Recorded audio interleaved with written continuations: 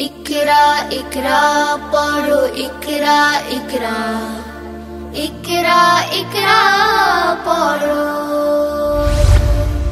ইকরা ইকরা আসসালামু আলাইকুম রহমতুল্লাহ। অকল জাল হক, অজাহাক আল বাতিল, ইন্নাল বাতিলা কানা জাহুকা। সত্য, সমাগত, মিথ্যা, অপসৃত, মিথ্যার পতন অবশ্যম্ভাবী। সম্মানিত ভিওয়ার্স আমি ইতিপূর্বে আপনাদের সম্মুখে দুটা পর্বে মানুষ সৃষ্টির উদ্দেশ্য নিয়ে আলোচনা করেছি। গত পর্বে কমন সেন্স বা সাধারণ আকল, বিবেক, বুদ্ধি, আল্লাহ প্রদত্ত এলহামের ভিত্তিতে আলোচনা করেছি। সেটা ছিল অপ্রমাণিত জ্ঞান।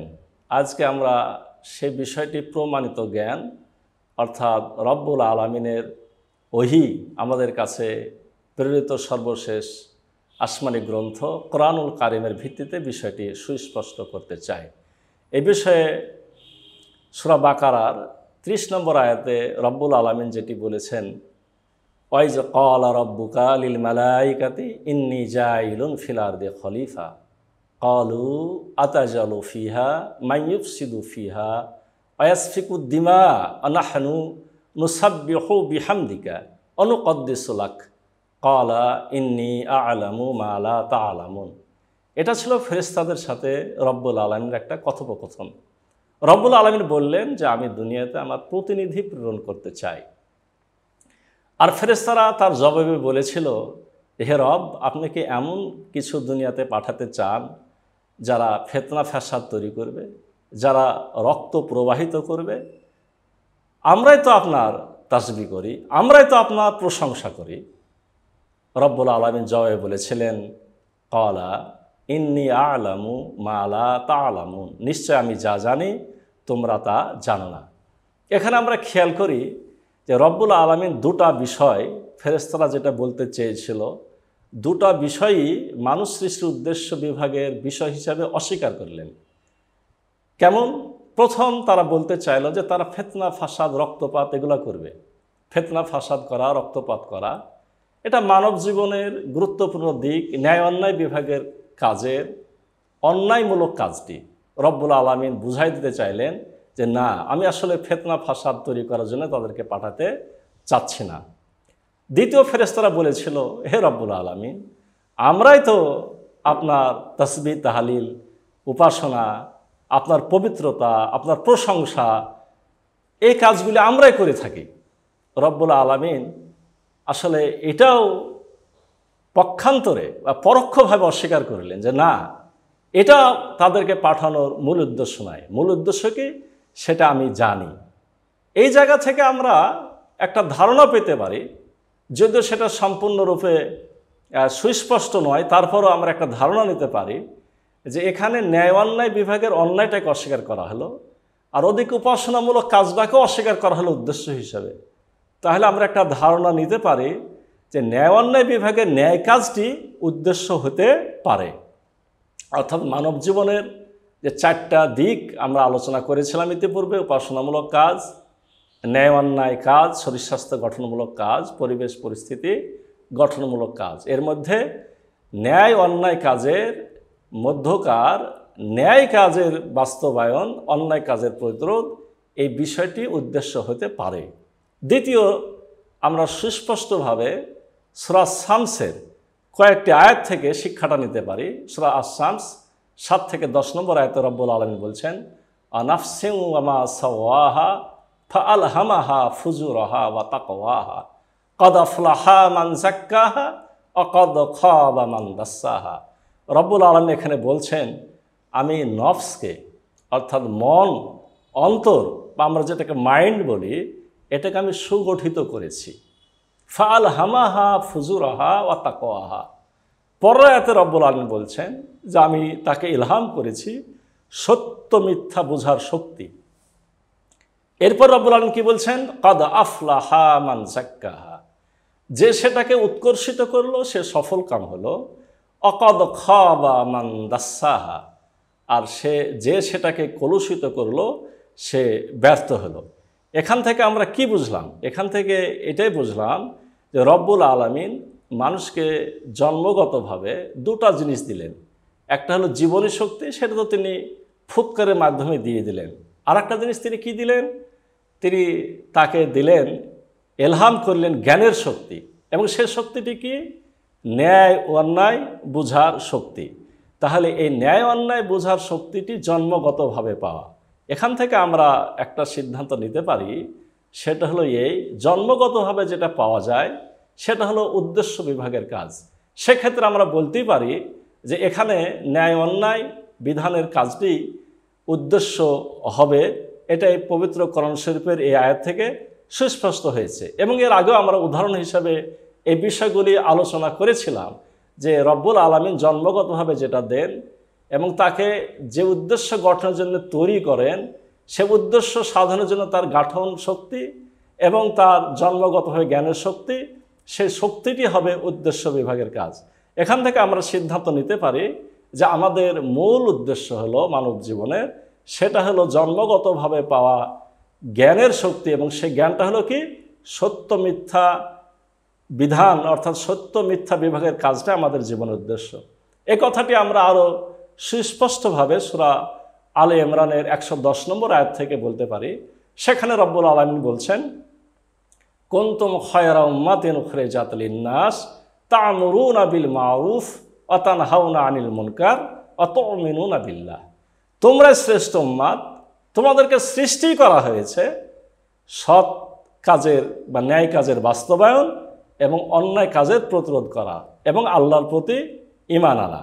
তাহলে এখান থেকে আমরা একেবারে স্পষ্ট হয়ে গেলাম যে আসলে এই উম্মা বা এই মানব জাতিকে রব্বুল আলমিন পাঠিয়েছেন হলো ন্যায় এবং অন্যায় বিভাগের কাজগুলি করার জন্যে। অন্যায় বিভাগের কাজকে বন্ধ করতে হবে আর ন্যায় বিভাগের কাজটি বাস্তবায়ন করতে হবে। ঠিক একইভাবে আমরা পবিত্র কোরআন শরীফের সুরা জুমারের সাতাশ এবং আঠাশ নম্বর আয়াতে দেখতে পাই, রব্বুল আলী বলছেন, আলাকাদ জরাবনালিন না সেফি হাজ আল কোরআন মিনকুল্লে মাসালিন লা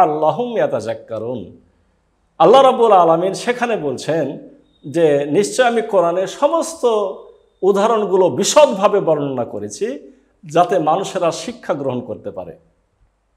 এই জায়গা থেকে একটা বিষয় আমাদের খুব চিন্তা করতে হবে, যে কোরআনটা দেওয়া হয়েছে তাহলে কি জন্য? যে শিক্ষা গ্রহণের জন্যে।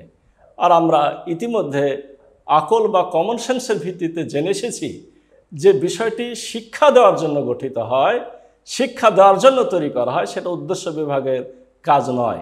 সেটা তো সেই শিক্ষা দেওয়া উদ্দেশ্যেই তৈরি। সেটা উদ্দেশ্য নয়, সেটা হলো উদ্দেশ্য সাধনের পাথেও।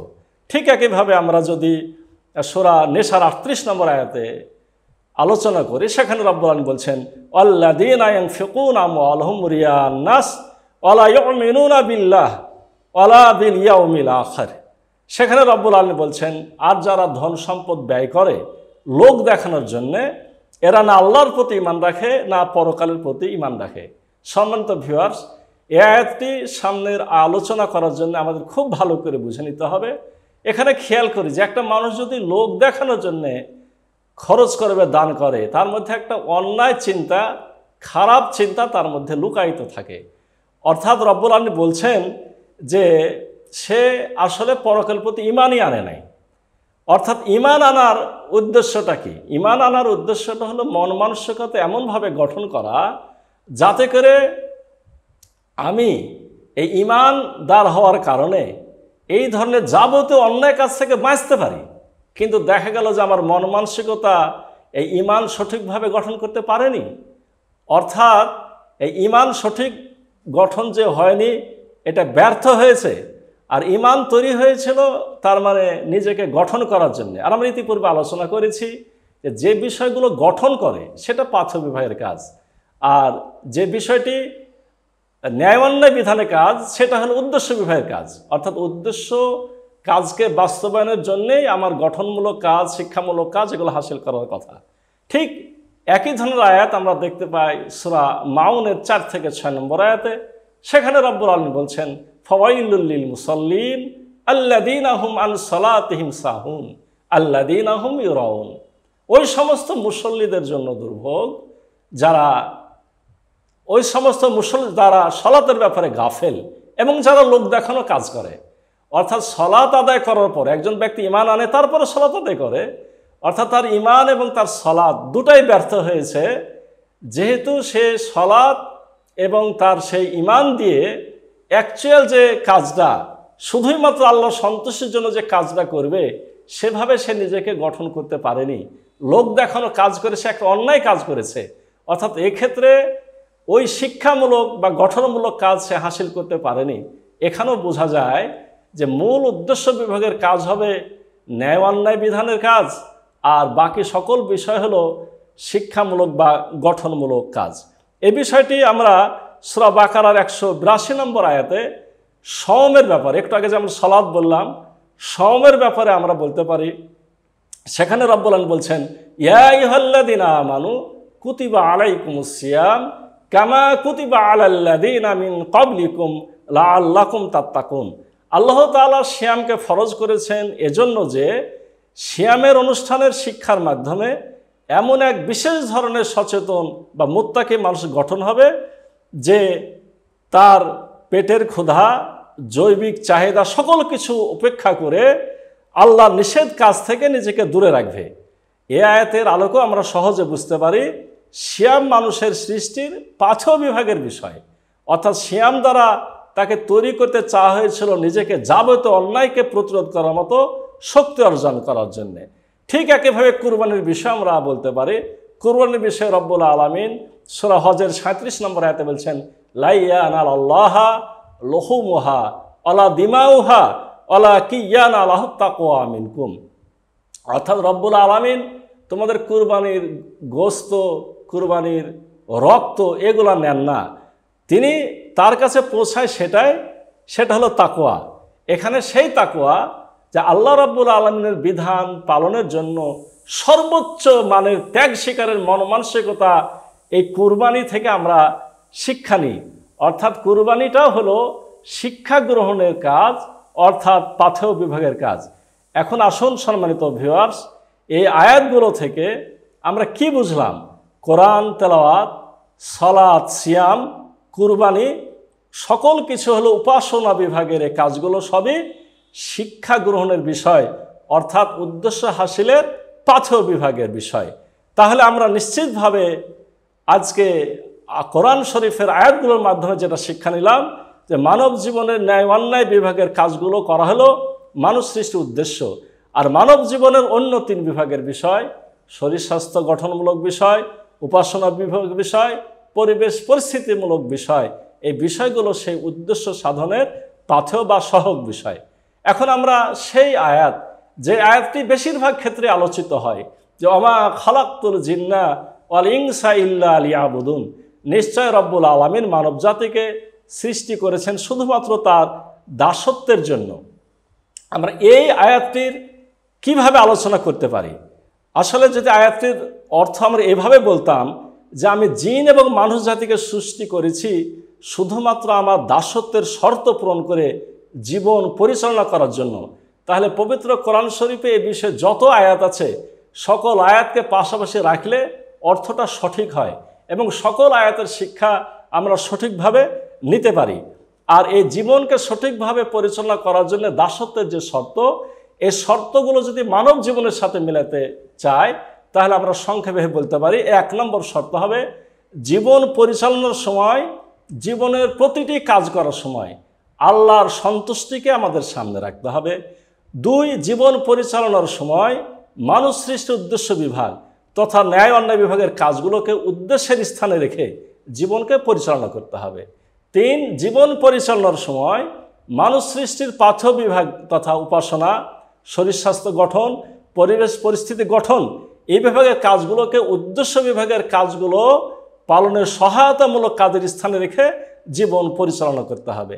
চার, জীবনের প্রতিটি কাজ আল্লাহ দেওয়া বিধান এবং রসুল সাল্লা ইসলামের দেখানো পদ্ধতিতে করতে হবে। পাঁচ, জীবনের আল্লাহ ঘোষিত আনুষ্ঠানিক উপাসনা কাজগুলো, অর্থাৎ ইমান আনা সলাদ জাকাত শ্যাম কুরবানি, এগুলো অবশ্যই নিষ্ঠার সাথে পালন করতে হবে।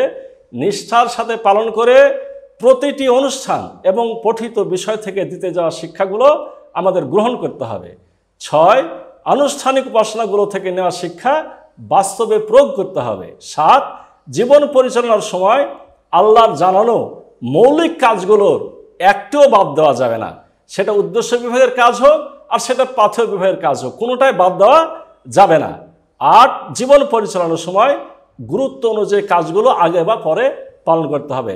সম্মানিত ভিউয়ার্স এখানে আটটা বিষয় বলা হলো। এটা শক্ত মনে হতে পারে। ইনশাল্লাহ আমি কোনো এক পর্বে আমল কবুলের শর্ত বিষয়ে বিষয়ে ইনশাল্লাহ বিস্তারিত আলোচনা করার আশা রাখছি।